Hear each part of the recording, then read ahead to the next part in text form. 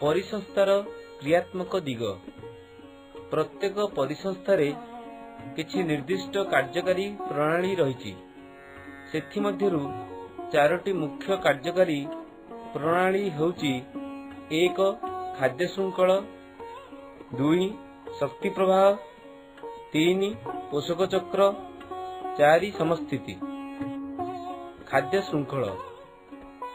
ପରିସଂସ୍ଥାରେ ସବୁଜ ଉଦ୍ଭିଦ ହେଉଛନ୍ତି ଉତ୍ପାଦକ। ତୃଣଭୋଜୀମାନେ ସବୁଜ ଉଦ୍ଭିଦ ଖାଇ ବଞ୍ଚନ୍ତି। ଉଦାହରଣ ସ୍ୱରୂପ ଗୋଟିଏ ତୃଣଭୂମି ପରିସଂସ୍ଥାରେ ଘାସ ଖାଇ ଝିଣ୍ଟିକା ବଞ୍ଚେ। ତୃଣଭୋଜୀମାନଙ୍କୁ ମାଂସାଶୀ ପ୍ରାଣୀମାନେ ଖାଇ ବଞ୍ଚନ୍ତି। ଯେପରି ଝିଣ୍ଟିକାକୁ ଖାଇ ବେଙ୍ଗ ବଞ୍ଚେ ଏବଂ ବେଙ୍ଗକୁ ସାପ ଖାଦ୍ୟ ରୂପେ ଗ୍ରହଣ କରେ। ପରିଶେଷରେ ବେଙ୍ଗ ଏବଂ ସାପ ଉଭୟଙ୍କୁ ଛଞ୍ଚାଣ ପକ୍ଷୀ ଖାଇବା ତୁମେ ଦେଖିଥିବ।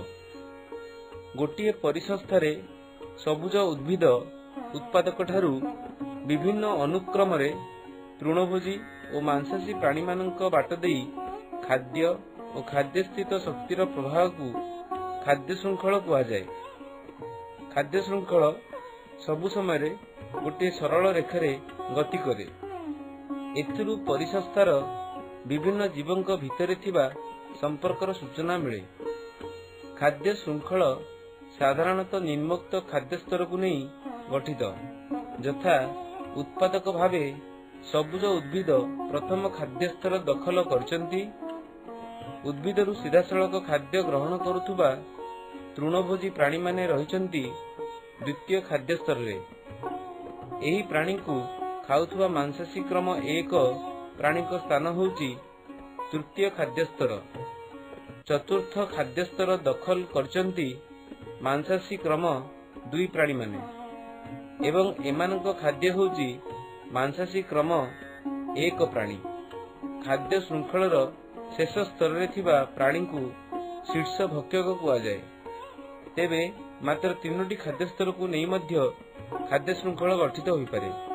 ଗୋଟିଏ ଜଙ୍ଗଲ ପରିସଂସ୍ଥାରେ ଥିବା ଉଦ୍ଭିଦ ଉତ୍ପାଦକ ହରିଣ ବା ଅନ୍ୟ ତୃଣଭୋଜୀ ଏବଂ ବାଘ ବା ଅନ୍ୟ ମାଂସାଶୀ ଏହାର ଉଦାହରଣ। ଚାର୍ଲସ। ଏଲ୍ଟନ ନାମକ ଜଣେ ଇଂରେଜ ପରିବେଶବିତ୍ ବିଭିନ୍ନ ପରିସଂସ୍ଥାରେ ଦେଖାଯାଉଥିବା ଖାଦ୍ୟ ଶୃଙ୍ଖଳକୁ ଅନୁଧ୍ୟାନ କରି ଏହି ଉପସଂହାରରେ ପହଞ୍ଚିଛନ୍ତି ଯେ ଯେକୌଣସି ଖାଦ୍ୟ ଶୃଙ୍ଖଳରେ ଖୁବ୍ ବେଶୀରେ ପାଞ୍ଚଟି ଖାଦ୍ୟ ସ୍ତର ଥାଏ। କାରଣ ଗୋଟିଏ ଖାଦ୍ୟ ସ୍ତରରୁ ଅନ୍ୟ ଗୋଟିଏ ଖାଦ୍ୟ ସ୍ତରକୁ ଶକ୍ତିର ପ୍ରବାହ ସମୟରେ କିଛି ପରିମାଣର ଶକ୍ତି ଉତ୍ତାପ ରୂପରେ ବାତାବରଣକୁ ଚାଲିଯାଏ। ତେଣୁ ପ୍ରତ୍ୟେକ ଖାଦ୍ୟ ସ୍ତର ତାର ପୂର୍ବ ଖାଦ୍ୟ ସ୍ତରଠାରୁ କ୍ରମ ଅନୁସାରେ କମ୍ ଶକ୍ତି ପାଏ। ପଞ୍ଚମ ଖାଦ୍ୟ ସ୍ତର ବା ଶେଷ ସ୍ତରରେ ଖାଦ୍ୟ ଶକ୍ତିର ପରିମାଣ ନଗଣ୍ୟ ହୋଇଥିବାରୁ ଏହା ଉପରେ ନିର୍ଭର କରି ଅନ୍ୟ କୌଣସି ଜୀବ ବଞ୍ଚିବା ଅସମ୍ଭବ। ଜୈବ ପରିବର୍ଦ୍ଧନ କେତେକ ବିଷାକ୍ତ ପଦାର୍ଥ ଜୀବ ଶରୀର ଭିତରେ ସହଜରେ କ୍ଷୟ ହୁଏ ନାହିଁ। ତେଣୁ ଏହିସବୁ ବିଷାକ୍ତ ପଦାର୍ଥ ରେଚନ କ୍ରିୟା ଦ୍ୱାରା ପ୍ରାଣୀ ଶରୀରରୁ ନିଷ୍କାସିତ ହୋଇପାରେ ନାହିଁ। ଅନ୍ୟ ପକ୍ଷରେ ଶରୀରର କୋଷମାନଙ୍କ ଭିତରେ ଏହା ଜମା ହୋଇ ରହେ। ଖାଦ୍ୟ ଶୃଙ୍ଖଳ ଓ ଖାଦ୍ୟ ଜାଲିର ବିଭିନ୍ନ ସ୍ତର ଦେଇ ଏହା ଶୀର୍ଷ ଭକ୍ଷକଙ୍କଠାରେ ପହଞ୍ଚିଲା ବେଳକୁ ଏହାର ପରିମାଣ ବହୁଗୁଣିତ ହୋଇଯାଇଥାଏ।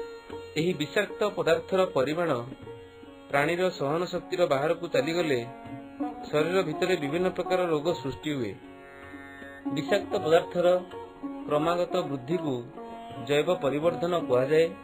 କିଛି କୀଟନାଶକ ଔଷଧର ଜୈବ ପରିବର୍ଦ୍ଧନ ହେତୁ ଚଢ଼େଇମାନଙ୍କର ଅଣ୍ଡା ଖୋଳପା ତିଆରି ବାଧାପ୍ରାପ୍ତ ହେଲାଣି ଏବଂ ଅନ୍ୟ ପ୍ରାଣୀମାନଙ୍କର ପ୍ରଜନନ କ୍ଷମତା ହ୍ରାସ ପାଇଲାଣି। ମଣିଷ ଜୈବ ପରିବର୍ଦ୍ଧନ ଦ୍ୱାରା ସବୁଠାରୁ ଅଧିକ କ୍ଷତିଗ୍ରସ୍ତ ହେଉଛି କାରଣ ମଣିଷ ଗୋଟିଏ ସର୍ବଭୋଜୀ ପ୍ରାଣୀ। ଆମେ ଖାଉଥିବା ଭାତ ରୁଟି ଶାଗ ପନିପରିବା ଫଳ ମାଛ ମାଂସ ପରି ଖାଦ୍ୟ ଏବଂ ଥଣ୍ଡା ପାନୀୟ ଓ କ୍ଷୀର ପରି ପାନୀୟରେ କୀଟନାଶକ ଥିବା ଖବରକାଗଜରୁ ଆମେ ପଢୁଛୁ। ଜୈବ ପରିବର୍ତ୍ତନ ଯୋଗୁଁ ଆମ ଶରୀରରେ ବିଭିନ୍ନ ପ୍ରକାର କୀଟନାଶକ ବର୍ଦ୍ଧିତ ପରିମାଣରେ ଜମା ହେଉଛି ଓ ବିଭିନ୍ନ ରୋଗରେ ଆମେ ଆକ୍ରାନ୍ତ ହେଉଛୁ। ଖାଦ୍ୟ ଜାଲି। ପରିବେଶରେ ଆମେ ଦେଖୁ ଗୋଟିଏ ପ୍ରକାର ଖାଦ୍ୟକୁ ଅନେକ ପ୍ରକାର ପ୍ରାଣୀ ଖାଆନ୍ତି। ଯେପରି ଘାସକୁ ଝିଣ୍ଟିକା ଠେକୁଆ ହରିଣ ଖାଇ ବଞ୍ଚନ୍ତି। ଅନ୍ୟ ପକ୍ଷରେ ଗୋଟିଏ ଖାଦକ ପ୍ରାଣୀ କେବଳ ଗୋଟିଏ ପ୍ରକାର ଖାଦ୍ୟ ଉପରେ ନିର୍ଭର ନ କରି ଅନେକ ପ୍ରକାର ଖାଦ୍ୟ ଖାଇ ବଞ୍ଚେ ଯେପରି ମଣିଷ ତୃଣଭୋଜୀ ହୋଇପାରେ ମାଂସାଶୀ ହୋଇପାରେ ବା ସର୍ବଭୋଜୀ ମଧ୍ୟ ହୋଇପାରେ। ସଂକ୍ଷେପରେ କହିଲେ ପରିବେଶରେ ଗୋଟିଏ ଜୀବ ବିଭିନ୍ନ ପ୍ରକାର ଖାଦ୍ୟ ଖାଇ ବଞ୍ଚେ ଏବଂ ସେହି ପ୍ରାଣୀକୁ ଅନ୍ୟ ପ୍ରାଣୀମାନେ ଖାଦ୍ୟ ଭାବେ ବ୍ୟବହାର କରନ୍ତି।